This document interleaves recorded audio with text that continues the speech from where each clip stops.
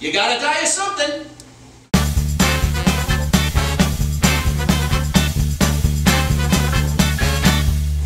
Oh, there is nothing like lighting a cigarette with a Zippo.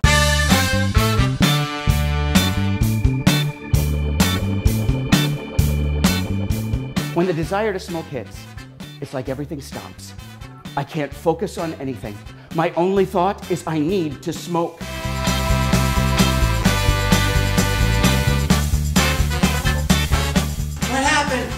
Prison? What's going on? and all I want to do is smoke! Thankfully, I know myself, and I knew this would happen, so. I was no longer the good boy. I was a man who smoked.